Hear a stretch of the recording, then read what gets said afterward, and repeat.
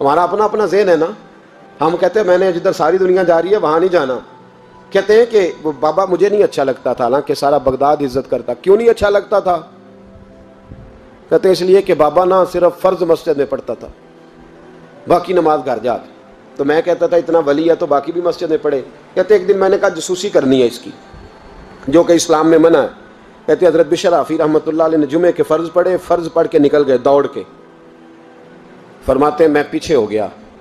میں نے کہا میں نے سنتیں چھوڑ دی ہیں، پر اس کا پتہ کرنا ہے۔ سنت نفل بعد میں پڑھوں گا۔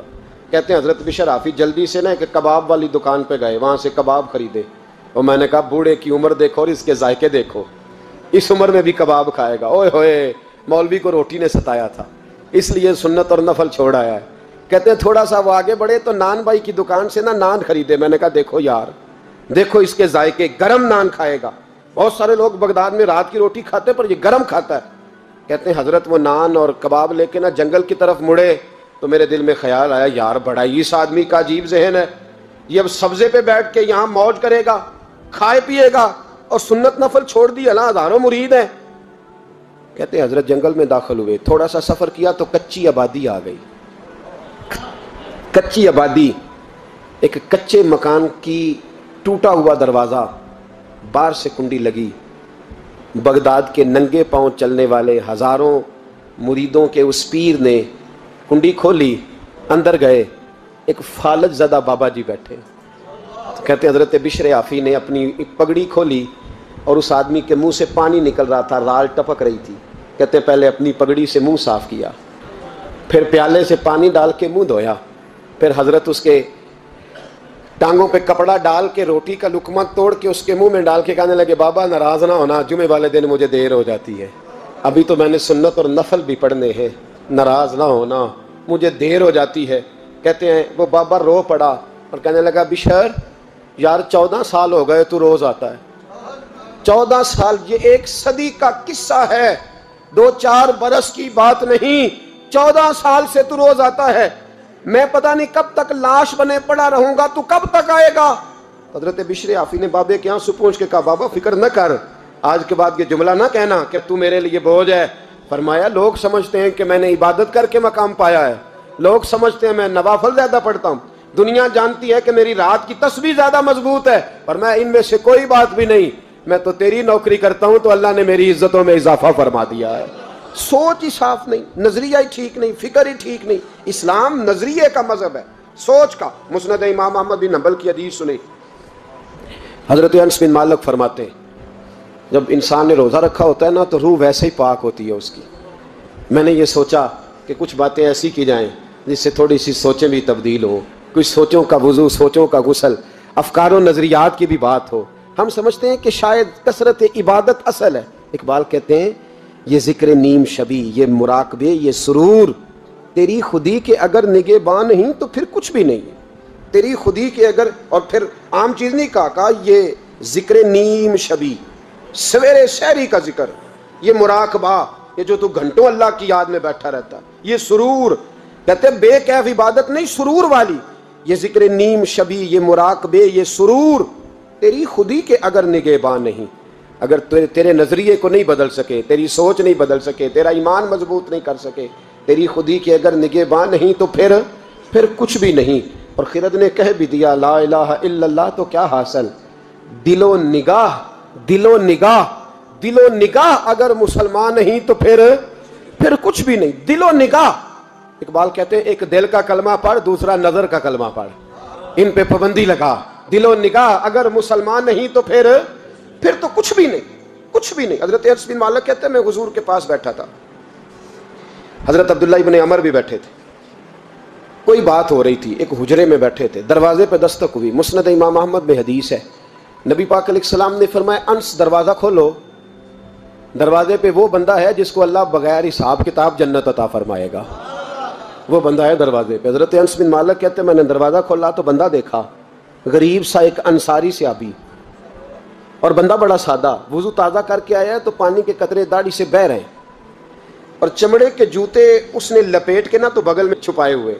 آ کے یاد کی حالت میں بیٹھا، حضور سے دو چار باتیں کی، چلا گیا۔ ہم اس کا رنگ دیکھتے رہے اور مصطفیٰ کا کرم دیکھتے رہے۔ اس کو حضور نے جنتی کہا ہے۔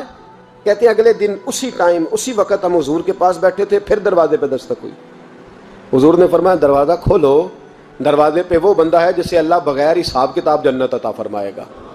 بغیر حساب، کہتے ہیں دروازہ کھولا۔ اور جیسے ہی میری نظر پڑی، بندہ بھی وہی ہے جو کل آیا تھا۔ اور انداز بھی وہی ہے جو کل تھا۔ اسی طرح پانی کے قطرے، اسی طرح جوتے بغل میں۔ السلام علیکم۔ کل حضور فلاں بات کی تفصیل پوچھنی مجھ سے رہ گئی تھی، غلطی ہوگی، دوبارہ آیا ہو اس نے اپنی گفتگو کی، چند جملوں میں بات سمیٹی چلا گیا۔ فرماتے ہیں اتفاق کی بات کے دن تیسرا۔ بندے بھی ہم دونوں۔ میں اور عبداللہ ابن عمر، حضرت انس بن مالک کہتے ہیں دونوں بیٹھے تھے سیم ٹائم سیم ڈے پھر دستک ہوئی، حضور نے فرمایا، دروازہ کھولو اور مسکرا کے فرمایا، دروازے پہ وہ بندہ ہے جسے اللہ بغیر حساب کتاب جنت عطا فرمائے گا. کہتے ہیں، کھل اٹھے ہمارے چہرے، باہر گئے، دستک ہوئی تھی، دروازہ کھولا. فرماتے مجھے یقین تھا وہی ہوگا جو دو دن پہلے آیا تھا، اور میرے یقین کے مطابق کی کام ہوا وہی بندہ تھا جو کل بھی تھا، جو پرسوں بھی تھا. حالت اور کیفیت اور انداز بھی وہی تھا۔ پانی کے قطرے بہ رہے ہیں اور اس شخص نے جوتے بغل میں دبائے ہوئے خدمت میں حاضر ہوا، بیٹھ گیا، بات چیت کی، چلا گیا۔ حضرت انس بن مالک کہتے ہیں، تھوڑی دیر ہوئی تو حضور بھی تشریف لے گئے۔ حضرت عبداللہ ابن عمر مجھے کہنے لگے، یار ویسے کتنے اس کے نصیب ہیں۔ کتنے نصیب ہیں۔ کوئی آیا لے کے چلا گیا۔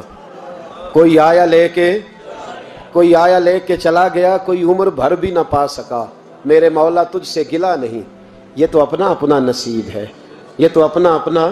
اور نہ کسی کے حال پہ تنز کر، نہ کسی کے غم کا مذاق اڑا۔ وہ جسے چاہیں جیسے نواز دے۔ یہ مزاج لطف رسول ہے۔ صلی اللہ تعالی علیہ کہتے ہیں، ہم لوگ گفتگو کرنے لگے۔ عبداللہ ابن عمر مجھ سے کہنے لگے، یار ویسے پتہ کرنا چاہیے یہ کون سا عمل کرتا ہے۔ پتہ کرنا، جیسے ہم نہیں پتہ کرتے کہ یہ بندہ بڑا چمک گیا، پتہ کرو کون سا کاروبار کرتا ہے۔ ذرا اس کی جسوسی تو کرو۔ اور بندے بھی بڑے سمجھدار ہیں، وہ سائڈ بزنس نہیں بتاتے۔ وہ کہتے ہیں، وہ جو میرا لہدا ہے، وہ نہیں بتانا۔ کہیں یہ نہ شروع کر لے۔ حالانکہ انسان کے پاس جو خوبی، جو اللہ نے اسے دولت دینی ہوتی ہے، وہ اپنا اپنا نصیب ہوتا ہے۔ وہ گھر میں بیٹھے بھی اللہ عطا کر دیتا وہ کہتے ہیں کہ پتا کرو کیا عمل کرتا ہے۔ تو حضرت عبداللہ ابن عمر کہتے ہیں، میں اس کے پیچھے ہو گیا۔ اس سے سلام لی۔ تو میں نے کہا، مجھے دو تین دن کے لیے مہمان بنا لو گے۔ مان نہ مان، میں تیرا مہمان۔ دو تین دن کے لیے مہمان بنا لو گے تو کہتے مجھ سے کہنے لگا، کو گھر میں جھگڑا ہو گیا؟ کیونکہ پڑوس میں تو تمہارا قریب ہی تو تمہارا گھر ہے، میرے مہمان بننے کو جھگڑا ہے؟ تو میں نے کہا، چلو ایسے ہی سمجھ لو، پر مجھے مہمان بنا لو۔ کہتے میں تین دن اور تین راتیں اس شخص کے ساتھ رہا۔ وہ کتنا صدقہ کرتا ہے، میں نوٹ کرتا رہا۔ نماز کتنی پڑھتا ہے، اس کا کیا؟ میں چاہتا تھا کہ وہ عمل مجھے ملے۔ اس کی برکت سے مصطفیٰ نے اسے تین مرتبہ جنتی فرمایا ہے۔ تاکہ وہ کیفیات مجھے بھی ملیں۔ حضرت عبداللہ ابن عمر کہتے ہیں کہ میں نے کوئی خاص چیز نہیں دیکھی۔ وہ عشاء پڑھتا تو فجر تک بستر پہ کروٹیں لیتا اور میں الحمدللہ اٹھ کے تحجد بھی پڑھتا، نوافل بھی پڑھتا۔ کہتے ہیں وہ ایک سپارہ پڑھتا، میں تین تین پڑھتا۔ فرماتے ہیں اس نے تین دنوں میں کھجور بھی صدقہ نہیں دیے کہ کھجور بھی، اور میں نے بڑے بڑے غریبوں کی مدد کی۔ میں کہنے لگا کہ عمل تو میرا زیادہ ہے اس سے۔ پھر خوبی کیا ہے؟ خاص توجہ کرنا، اسلام اور دین کا جو فکری اساس، جو فکری اساس ہمیں صحابہ نے دی۔ حضرت عبداللہ ابن عمر کہتے ہیں، میں نے تیسرے دن اسے کہا، بھائی، اللہ تیرا بھلا کرے، تو نے بڑی خدمت کی، میں نے جانا ہے، میرا کوئی جھگڑا نہیں ہوا تھا۔ میں تو بس تیرا عمل دیکھنے آیا تھا کہ تو عمل کیا کرتا ہے۔ تو وہ سیابی کہتے ہیں، مجھے کہنے لگے، یار، تو میرا عمل دیکھنے آیا تھا، مجھے بتا تو صحیح کیا اور کیوں دیکھنے آیا میرا عمل؟ تجھے کیا ضرورت پڑی میری جاسوسی کی؟ تو کہتے ہیں، مجھ سے جب اس نے سوال کیا تو میں نے اس کو کہا، بھائی، تو تین دن آیا نا، ہم بیٹھے ہوئے تھے۔ کہا ہاں میں آتا رہا ہوں؟ کہا، تینوں دن نبی پاک نے فرمایا، اللہ تجھے بغیر ہی صاحب کتاب جنت عطا فرمائے گا۔ تو میں چاہتا تھا کہ میں ذرا جاسوسی کروں، ذرا دیکھوں، کھوج لگاؤں۔ کون سا ایسا عمل ہے؟ آپ بھی ذرا دھیان دیجیے گا۔ کون سا ایسا عمل ہے؟ حالانکہ تو شاہ پڑھتا ہے اور اٹھ کے فجر پڑھتا ہے، میں تاجد بھی پڑھتا ہوں۔ تیرا سپارہ ایک ہے، میرے تین ہے کون سا ایسا عمل ہے جس کے سبب تجھے جنت ملے گی؟ تو کہتے ہیں، وہ سیابی کہنے لگے، یار، کوئی ایسا عمل نہیں، کوئی شے نہیں، میں اس قابل ہی نہیں، من نانم کے من دانم جو میں ہوں، مجھے پتا ہے۔ کہا پھر کوئی بات تو ہوگی، تیری مہربانی بتا دے۔ میں نے تین دن، تین راتیں محنت کی ہیں، بتا دے۔ کہتے وہ کہنے لگے، اگر تجھے بتاؤں نا تو پھر سن۔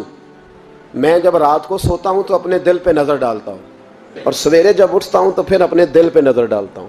موبائل پہ نہیں، کنجی پہ نہیں، یہ چابیاں کدھر ہیں؟ بٹوے پہ نہیں، میں رات کو سوتے ہوئے بھی اپنے دل پہ نظر ڈالتا ہوں۔ سویرے اٹھتے ہوئے بھی میں سب سے پہلے اپنے دل پہ دل پہ نظر ڈالتا ہوں۔ فرماتے ہیں، الحمدللہ، میرے دل میں کسی کا حسد نہیں ہے۔ کسی کے بارے میں کوئی کینہ نہیں ہے۔ کوئی کسی کے بارے میں محل نہیں۔ میں اللہ کے ہر بندے کے بارے میں سوچ، نظریہ، فکر اچھی رکھتا ہوں۔ اور فرمایا، میں تیرے بارے میں بھی عبداللہ یہی سوچتا ہوں کہ تو مجھ سے زیادہ نیک ہے۔ الحمدللہ، اس وقت بھی میرا ذہن یہ ہے کہ انس بن مالک مجھ سے زیادہ پرہیزگار ہے۔